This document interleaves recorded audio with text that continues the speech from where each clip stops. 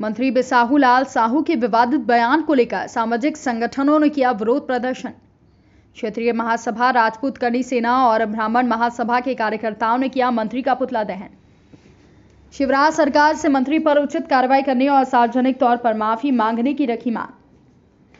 अनूपपुर की एक सभा में शिवराज सरकार के मंत्री बिसाहू लाल साहू के एक विवादित बयान को लेकर समूचे प्रदेश में प्रदर्शन किया जा रहा है। इसी क्रम में खनिया थाना में क्षेत्रीय महासभा, राजपूत करनी सेना और ब्राह्मण महासभा के सैकड़ों कार्यकर्ताओं ने मंत्री बिसाहू लाल साहू का पुतला दहन किया।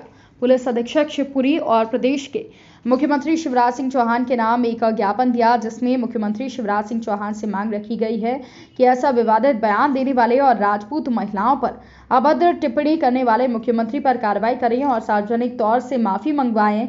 अन्यथा, सभी सवर्ण संगठन के ऐसे व्यक्ति के प्रति उग्र आंदोलन करने पर मजबूर होंगे। क्षत्रिय महासभा के युवा प्रदेश अध्यक्ष पृथ्वीराज चौहान ने बताया कि राजनीतिक लोगों का एक विशेष वर्ग लगातार सवर्ण समाज को निशाना बनाता रहा है। अब बर्दाश्त नहीं किया जाएगा।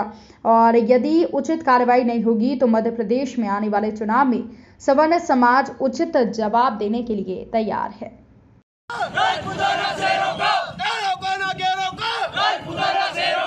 जो हमसे टकराएगा चूर चूर हो जाएगा अभद्र टिप्पणी की गई है महिलाओं के साथ में सवर्ण समाज की महिलाओं के साथ में जो अभद्र टिप्पणी की गई है, उसमें करनी सेना के साथ में, हम ब्राह्मण समाज के प्रतिनिधि भी उसमें शामिल हैं।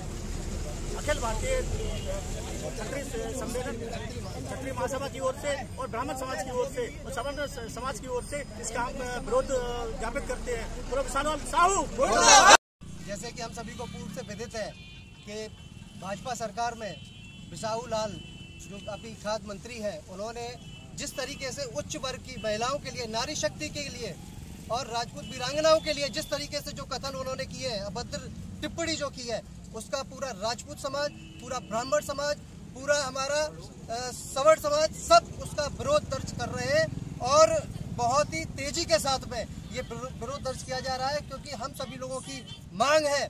यशस्वी यहाँ के मध्य प्रदेश के मुख्यमंत्री जी से, श्री शिवराज सिंह चौहान जी से हम लोगों का यही आह्वान है कि ऐसे व्यक्ति को बिल्कुल कैबिनेट में जगह ना दी जाए, उसको बर्खास्त किया जाए। ये हम लोगों की मांग है। यदि ऐसा नहीं होता है तो आगे उग्र आंदोलन की ओर हम सभी लोग अग्रसर होंगे।